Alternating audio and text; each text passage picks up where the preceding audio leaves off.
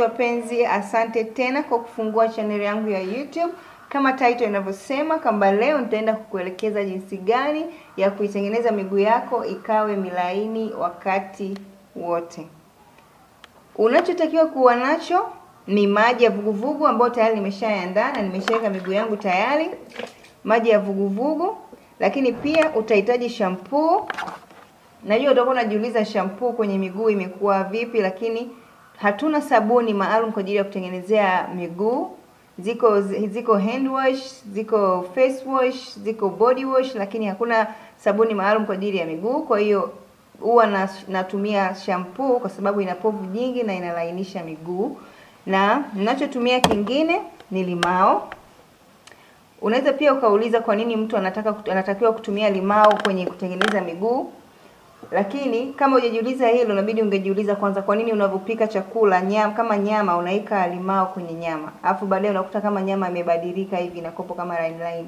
Kazi moja na kwenye miguu, ukiweka maji limao kwenye miguu inakusaidia kutoa ule uchafu wa juu ambao hau, hau, haupo kwenye ngozi, yani ule uchafu wa ziada ambayo unatakiwa kuutoa na kuacha miguu yako ikiwa safi. Kwa hiyo unahitaji limao, na kitu cha kingine unachohitaji unahitaji scrub yako ambayo ni ya mwili. Kuna scrub ambayo ni special kwa ajili ya uso ambayo nimeleta kama mfano kama hizi hapa scrub ambazo zinakuwa na zile chembe chembe laini sana ambazo ni rahisi kuyeyuka zikiwa usoni, lakini scrub hii ninayoitumia ya miguu ni scrub ambayo ipo ina chembe chembe kubwa design ya chumvi, ambayo ukiitumia kwenye miguu, kwa sababu miguu haina effect kubwa ukitumia scrub yenye chembe chembe kubwa, kwa hiyo unatumia hii scrub kwa ajili ya miguu.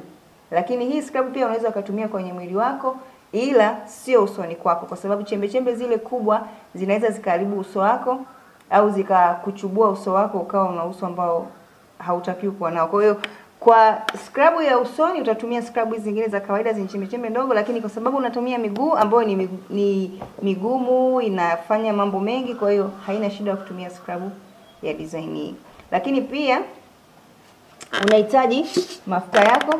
Mimi natumia mafuta ambayo mwanangu anayatumia, mafuta ya mwilini, lakini pia unaweza ukatumia mafuta ya nazi au ukatumia lotion ya aina yoyote ile kuweka miguu yako iwe kwenye hali ya ulaini zaidi, kwa sababu natumia mafuta ya mgando ambayo kwangu mimi ni malaini zaidi. Kwa hiyo hii ni faida kwangu. So unachofanya utachukua maji yako ambayo mimi tayari nimeshaandaa ni ya vuguvugu, utachanganya na shampuu ambayo utahakikisha unaweka kiasi kidogo tu kwa ajili ya kutengeneza povu ambayo itakusaidia kulainisha miguu.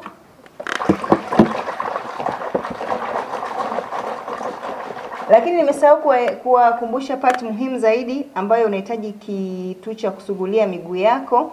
Mimi natumia hivi vijio vya kawaida ambavyo tunavitumia ni loko na vya zamani, tangu zamani tunavitumia, lakini pia unaweza ukatumia kitu chochote cha kusugulia miguu kama zile zile sijui zinaitwa kwa lugha gani nzuri, kama misasa ambayo ni milaini ambazo zinauzwa madukani au kifaa kingine chochote cha kusugulia miguu. Hiki ndio kipengele muhimu zaidi, kwa sababu hii ndio unahitaji kwa ajili ya kutoa uchafu wote uliokupo kwenye miguu yako na kuiacha miguu yako ikiwa milaini.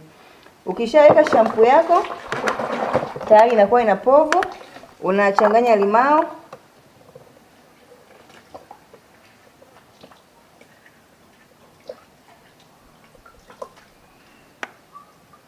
Nitatumia limao moja tu kwa sababu zimekuwa na maji mengi.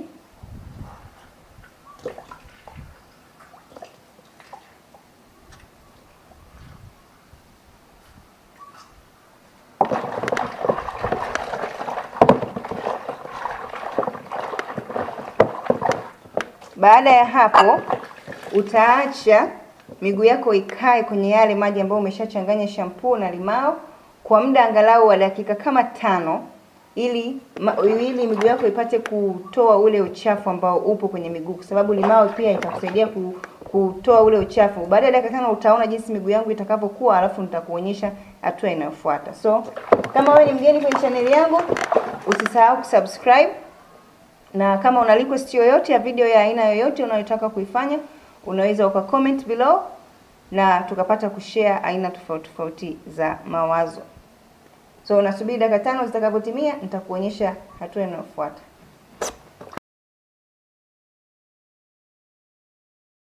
So baada ya dakika tano zimeshapita, na nataka nikuonyeshe jinsi mguu wangu unavyokuwa unauona unavyokuwa. Huu ndio uchafu ambao tayari unaonekana na unatakiwa kutoka. Kama una ratiba ya kufanya hivi kila siku, hata utakapokuwa unaendelea kurudia, hautakutana na aina hii ya uchafu, lakini nitakaposugua uchafu huu wote utatoka. Unaona kunakuwa kuna aina ya uchafu wa aina fulani ambao unakuwa unatoka kwenye miguu. Hauhitaji kutumia nguvu sana, kwa sababu kwa sababu tayari umeshalainika. Unaona tofauti unavyozidi kutokea.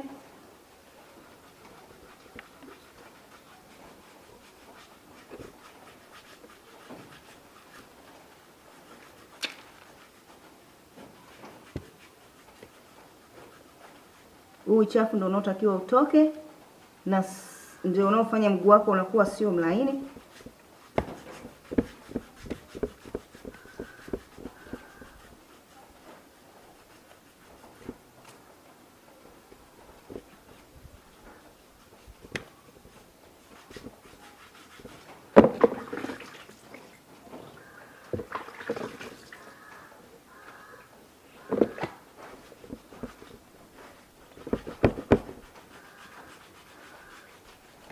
Utasugua hivi miguu yako yote miwili.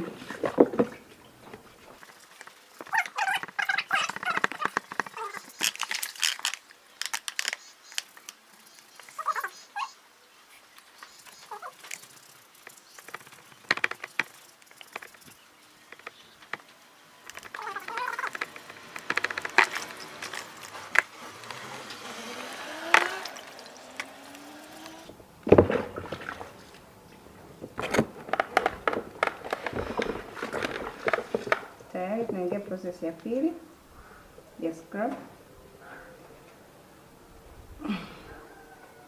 Sasa kinachofuata hapo, baada ya kusugua miguu yako, unahitaji kufanya scrub. Kwa hiyo utaanza na mguu mmoja moja. Utachukua kitambaa chako kizuri kikavu,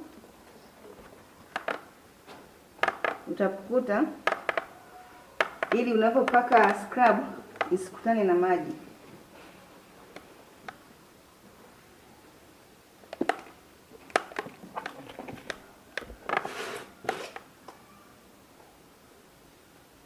Scrub haihitaji nyingi sana, kwa sababu hii scrub ni kali na chimbi zake ni kubwa. Kwa hiyo kama utaweka nyingi, inamaanisha kwamba utakuwa unajisuumiza unajisu zaidi kuliko kufanya scrub. Natumaini wote tunajua jinsi ya kufanya scrub. Wengine wameshazoea kwenda kule kwenye masaruni kusuguliwa, lakini ni kazi ambayo unaweza ukaifanya tu nyumbani kama una muda wako mzuri na ukaijua ngozi yako zaidi kwa uzuri, kuliko kwenda mtaani unashindwa kujifunza kila siku kitu kipya kwa ajili ya ngozi yako, unajikuta unafanya kitu kile kile kila siku.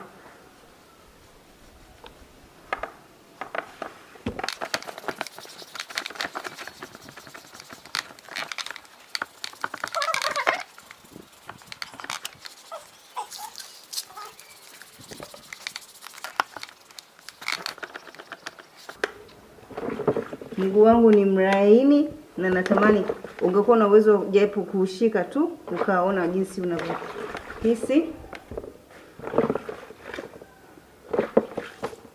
Utafanya hivyo hivyo kwa mguu mwingine pia.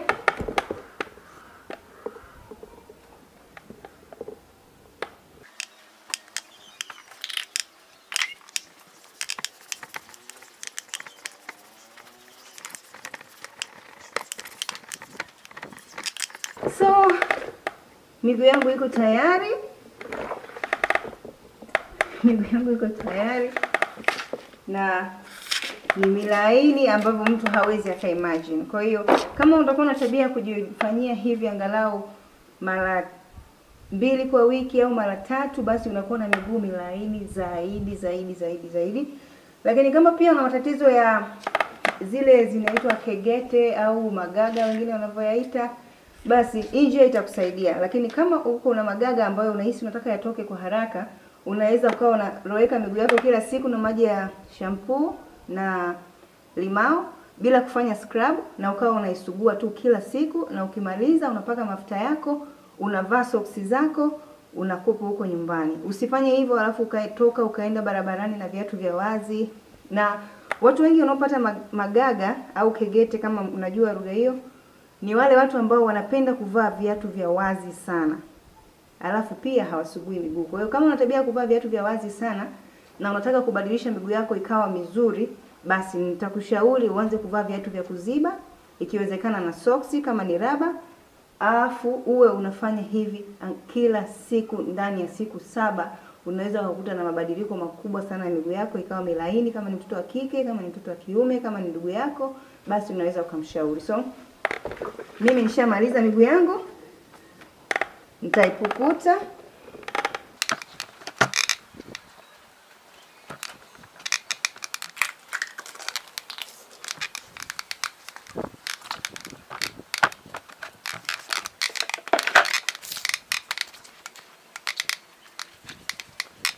Ukishakuwa tayari ni mikavu, basi uta apply mafuta yako ambayo inategemea unatumia mafuta ya aina gani, lakini mimi nimekwambia natumia mafuta ambayo mwanangu anayatumia. Ni malaini sana na ni mazuri kwa kufanya ngozi yako iwe imekaa kwenye hali nzuri muda wote. Lakini pia unaweza ukatumia mafuta ya nazi, au kama mafuta ya nazi hauna, unaweza ukatumia tu lotion yoyote ambayo wewe unapaka, lakini nashauri vizuri utumie mafuta ya nazi au mafuta ya mgando. Haya ndio mazuri zaidi kwa sababu yanakopo yana glycerin nyingi ambayo inafanya miguu yako ikae milaini muda huo wote. Kwa sisi wengine hatujazoea kunyoa vinyweleo kwa sababu ngozi ziko sensitive kidogo. Kuna wale ambao wameshazoea kunyoa, kwa hiyo unaweza ukafanya hivi na ukamalizia kushave au ka wax miguu yako ikabaki kuwa milaini zaidi. So hicho ndio ambacho naweza nikashare na nyinyi kwa siku ya leo, na natumaini mekifurahia na natumaini tutakifanyia kazi.